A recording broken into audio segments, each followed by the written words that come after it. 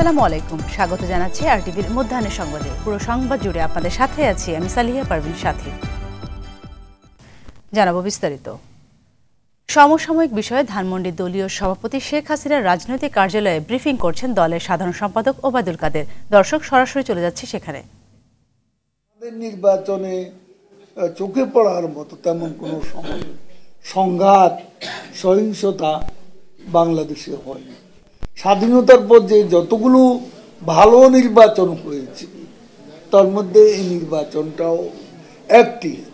আর আমরা বারবারই একটা কথা বলি we are not perfect nobody is perfect যারা আজকে আমাদেরকে গণতন্ত্রের সবক দেন, সে পশ্চিমা বিশ্ব, তারাও কিন্তু পারফেক্ট নয়।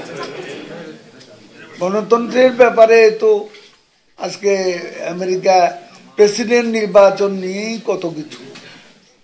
আদালত পর্যন্ত গড়িয়েছে। সুপ্রিম কোর্ট কোলোরাডোতে তাদের যে কোর্ট, কোলোরাডোতে অলরেডি ট্রাম্পকে মানে ব্যালটে, প্রেসিডেন্ট নির্বাচনের ব্যালটে কোলোরাডোতে তার নাম থাকবে না।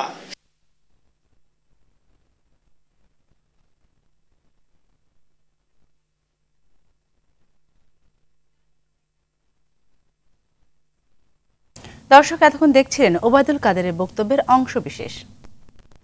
সপ্তাহের ব্যবধানে আবারও ধর্মপ্রাণ মুসল্লিদের কলরবে মুখর টঙ্গীর তুরাক্তির। শুক্রবার ফজরের নামাজ শেষে মাওলানা সাদ কান্ধলবির ছোট ছেলে মাওলানা ইলিয়াস বিন সাদের আম বয়ানের মধ্য দিয়ে শুরু হয় বিশ্ব ইস্তেমার দ্বিতীয় পর্বের মূল আনুষ্ঠানিকতা। ভারতের দিল্লি মার্কাজের মাওলানা সাদ কান্ধলবির অনুসারীরা অংশ নিচ্ছেন এ পর্বে। গত মঙ্গলবারই মাওলানা জুবাইরের অনুসারীদের কাছ থেকে মাঠ বুঝে পান তারা। সাদ কান্দলবি না আসলেও এসেছেন তার তিন ছেলে। ভিসা জটিলতায় মাওলানা সাদ কান্দলবি অংশ নিতে না পারলেও অংশ নিয়েছেন তার তিন ছেলেসহ ভারতের নিজামুদ্দিন মার্কাজের চোদ্দ জনের এক জামাত। শুক্রবার সাদের বড় ছেলে মাওলানা ইসুফ বিন সাদের জুম্মার নামাজের ইমামতি করার কথা রয়েছে। উনি আখেরি মোনাজাত পরিচালনা করবেন। দ্বিতীয় দফায় বিশ্ব ইস্তেমার এ পর্যন্ত পঞ্চাশটি দেশের পাঁচ হাজারের বেশি বিদেশি অতিথি অংশ নিয়েছেন বলে জানিয়েছে ইস্তেমা পরিচালনা কমিটি। ফিলিস্তিনিদেরকে কে গণহত্যা করতেছে এইটার জন্য আমরা প্রতিবাদ কর তীব্র প্রতিবাদ করি এবং আমরা এদের জন্য দোয়া করি। আমরা ইস্তেমা আসছি আল্লাহকে সন্তুষ্ট করার জন্য। আর আমরা আমার বাবা মা অন্ধকার কবরে তাদের জন্য দোয়া করব এবং দেশবাসীর জন্য দোয়া করব। আল্লাহকে একমাত্র রাজি খুশি করার জন্য আমরা আসি সর্বপ্রথম। তারপরে আল্লাহ তালার হৃদায়তের জন্য আমার ভিতর এবং সারা জাহানের সমস্ত মুসলমানের ভিতর নাজিল করে দেন দিনের পর থেকে আসতেছি না দিনের নেজমত থেকে আসতেছি না দিনকে বুঝতেছি না আমরা হ্যাঁ? পুরা দাঁড়ায় দাঁড়ায় দরে দরে দরে এই বাণী পোষানো আল্লাহর বড় বড়দের কথা পোষানো বিগত দিনে গুণা মাপের জন্য এলাকায় গিয়ে তালিম করার জন্য তো নামাজ পাঁচ অক্ত পড়ার জন্য নিজে পড়ার জন্য এলাকাবাসী পড়ানোর জন্য।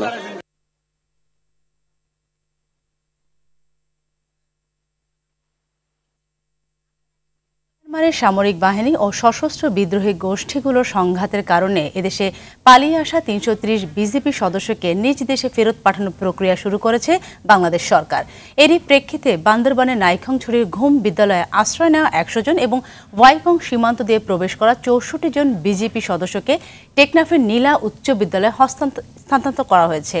বিষয়টি নিশ্চিত করে টেকনাফ দুই বিজেপির উপ অধিনায়ক মেজর শহীদুল ইসলাম জানান, প্রত্যাবর্তনের প্রক্রিয়া হিসেবে এই একশো চৌষট্টি জনকে টেকনাফে নেওয়া হয়েছে। যাবতীয় দাপ্তরিক কার্যক্রম শেষে নদীপথে তাদের ফেরত পাঠানো হবে। অন্যদিকে উখিয়া টেকনাফের বিভিন্ন সীমান্ত দিয়ে রোহিঙ্গারা এদেশে অনুপ্রবেশের চেষ্টা চালাচ্ছে। গতকালও হোয়াইকং সীমান্ত দিয়ে দুই রোহিঙ্গা পুরুষ অনুপ্রবেশ করলে তাদের আটক করে ফেরত পাঠায় বিজিবি। সপ্তাহখানেক ধরে মিয়ানমার সীমান্তে উত্তেজনা বেড়েই চলছে। এরই মধ্যে দেশটি থেকে ছোড়া মর্টার শেল ও গুলির আঘাতে দুই বাংলাদেশি নিহত ও আহত হয়েছে অন্তত দশ জন।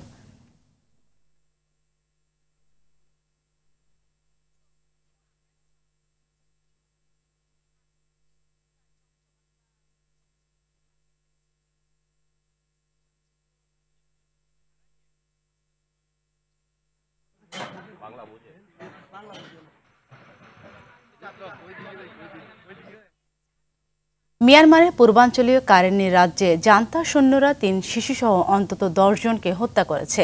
নিহতদের মধ্যে গর্ভবতী এক নারীসহ বাস্তুচ্যুত তিন নারীও রয়েছে। চলতি সপ্তাহের শুরুর দিকে রাজ্যের শ্যাডাউ শহরে জান্তা সৈন্যরা তাদের হত্যা করেছে। বৃহস্পতিবার এ তথ্য জানায় মিয়ানমারের ইংরেজি দৈনিক দা ইরাবতী। এদিকে মিয়ানমারের এমন উত্তেজনাপূর্ণ অবস্থায় দেশটির সঙ্গে সীমান্তবর্তী পুরো অঞ্চলে কাঁটা তার বসাতে চাইছে ভারত। সম্প্রতি ভারতের স্বরাষ্ট্রমন্ত্রী অমিত শাহ জানান, ভারত মিয়ানমারের এক হাজার ছশো তেতাল্লিশ কিলোমিটার দীর্ঘ সীমান্তে কাঁটাতার বসানো হবে।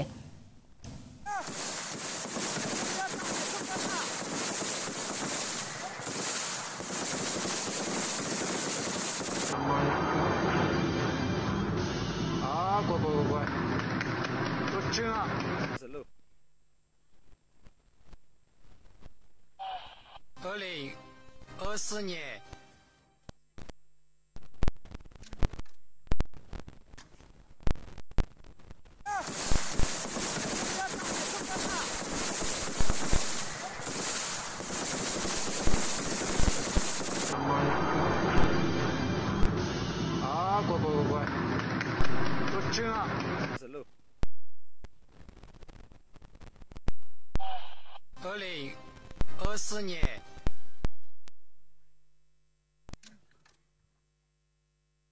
ধর্মপ্রাণ মুসল্লিদের কলরবে মুখর টঙ্গীর তুরাক্তির।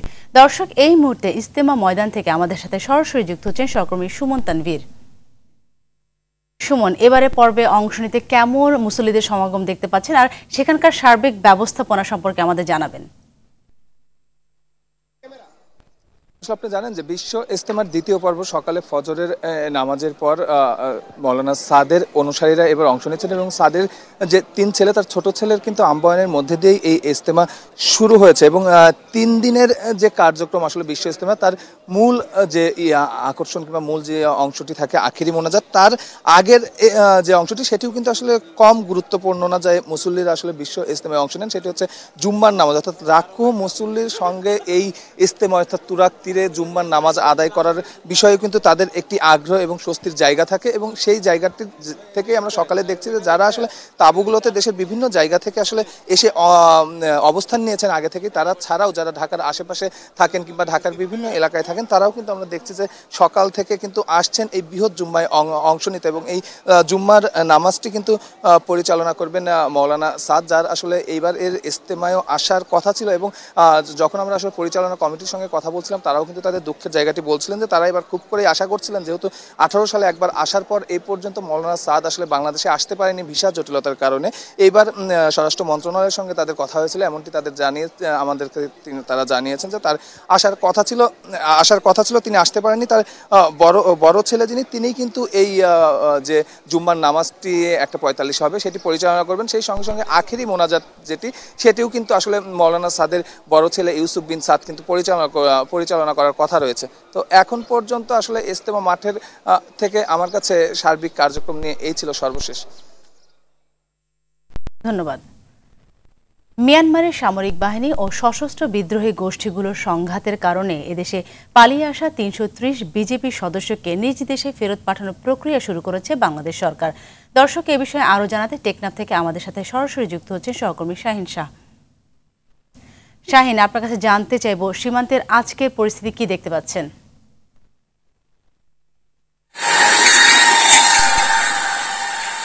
হ্যাঁ সাথী আপনি যেমনটি বলছিলেন আসলে আজকের পরিস্থিতি যদি আপনাকে জানাতে চাই আজকে থেকে গত দুই দিন ধরে সীমান্ত পরিস্থিতি কিন্তু ভালো রয়েছে।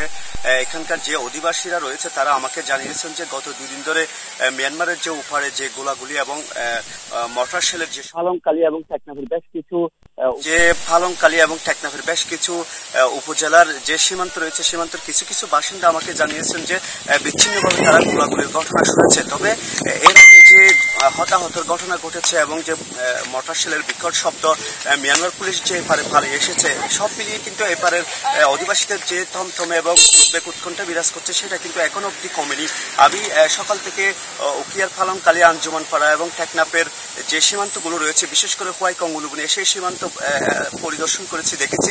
সেখানে মানুষ এখনও উদ্বেগ উৎকণ্ঠার মধ্যে রয়েছে রয়েছে। তারা জানিয়েছেন যে, এখনও পরিবেশ গুমুট বেঁধে আছে। যে কোনো সময় পরিস্থিতি আবারও আবারও ভয়াবহ হতে পারে। কেননা মিয়ানমারের উপরে কিছু কিছু যে সে দেশের সরকারের এখনও ক্যাম্প বিদ্যমান রয়েছে। সম্পূর্ণ এখনও সে দেশের যে বিদ্রোহী গ্রুপ রয়েছে, সে তাদের দখলে যায়নি। যে সীমান্তকে সে সব ক্যাম্প দখলে নেওয়ার জন্য মরিয়া হয়ে উঠেছে বিদ্রোহী গ্রুপরা। সেই সুবাদে এই পরিস্থিতি আবারও ভয়াবহ হতে পারে বলে আমাকে জানিয়েছে। সর্বশেষ যে তথ্যটি আপনাকে জানাতে চাই, গত ছয় তারিখ যে দুশো সাঁত্রিশ জন মিয়ানমার পুলিশ থ্যাংখালি থেকে প্রবেশ করেছিল, সে, সেখানে কিন্তু আজকে একজন মরদেহর বাসমান লাশ পাওয়া গেছে। আমাকে উকিয়া উপজেলার উচিত থানার উচিত যিনি রয়েছেন মোহাম্মদ শামীম হোসেন। তিনি জানিয়েছেন ওই লাশটি উদ্ধার এবং পরিচয় শনাক্ত করার চেষ্টা করা হচ্ছে। পাশাপাশি যে একশো মিয়ানমার পুলিশকে মিয়ানমারে পাঠানোর জন্য প্রক্রিয়া শুরু করেছে জি, আপনাকে অসংখ্য ধন্যবাদ।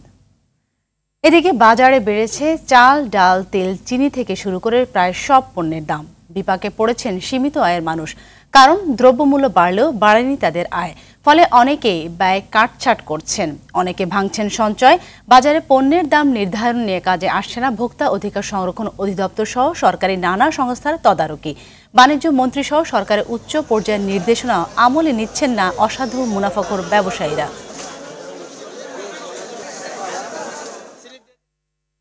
দেশের মেডিকেল কলেজগুলোতে দু হাজার তেইশ, চব্বিশ শিক্ষাবর্ষে এমবিবিএস প্রথম বর্ষের ভর্তি পরীক্ষা আজ। সকাল দশটায় শুরু হয়েছে, এক ঘণ্টা চলবে এই পরীক্ষা। সারা দেশে উনিশটি কেন্দ্রে চুয়াল্লিশটি ভ্যানিতে একযোগে চলছে ভর্তি পরীক্ষা। এবার পরীক্ষায় অংশগ্রহণ করতে আবেদন করেছেন এক লাখ চার হাজার দুশো চুয়াত্তর পরীক্ষার্থী। দেশের সাঁত্রিশটি সরকারি মেডিকেল কলেজে আসন রয়েছে পাঁচ হাজার তিনশো আশিটি। এছাড়া বেসরকারি পর্যায়ে অনুমোদিত সাতষট্টি মেডিকেল কলেজে আসন রয়েছে ছ হাজার দুশো পঁচানব্বইটি।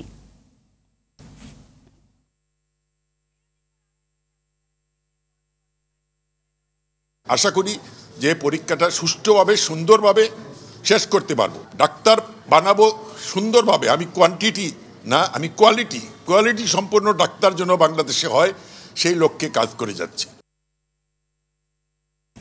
সম্পত্তির ভাগাভাগি নিয়ে সাভারের আশুলিয়ায় গলা কেটে হত্যা করা হয় ব্যবসায়ী ও পল্লী বিদ্যুৎ সমিতির ঠিকাদার কাজিমুদ্দিনকে। ক্লুলেস হত্যার রহস্য উদ্ঘাটন ও মূল হোতা আব্দুল লতিফকে বৃহস্পতিবার আশুলিয়া থেকে গ্রেপ্তার করেছে র্যাব ফোর। কাউরান বাজারে র্যাবের মিডিয়া সেন্টারে সংবাদ সম্মেলনে এসব কথা জানান সংস্থার আইন ও গণমাধ্যম শাখার পরিচালক কমান্ডার খন্দকার আল মঈন নাজিমুদ্দিনের সাথে দেখা করতে যান। দেখা করতে যে সেখানে আলাপচারিতায় তাদের মধ্যে পুনরায় সম্পত্তির ভাগাভাগির যে বিষয়টি, সেটি উঠে আসে। সেখানে তাদের মধ্যে বাঘবিতণ্ড এক পর্যায়ে উত্তেজিত হয়ে একটি বটি দিয়ে তাকে কোপ দেন। ঘটনাস্থলেই ভিকটিম মৃত্যুবরণ করেন।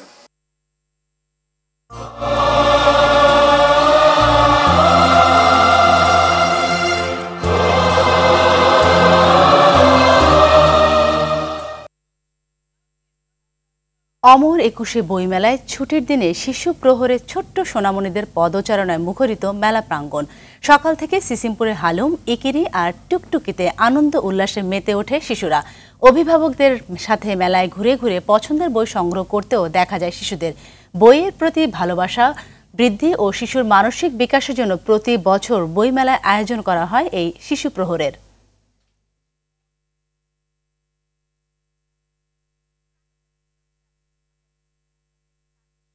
মধ্যাহ্নের সংবাদ এই পর্যন্ত। সবশেষ সংবাদ জানতে যে কোনো মোবাইল ফোন থেকে two four one four one নম্বরে ডায়াল করুন। দুপুরের সংবাদ পৌনে দুইটায়। দেখার আমন্ত্রণ রইল। ধন্যবাদ সবাইকে।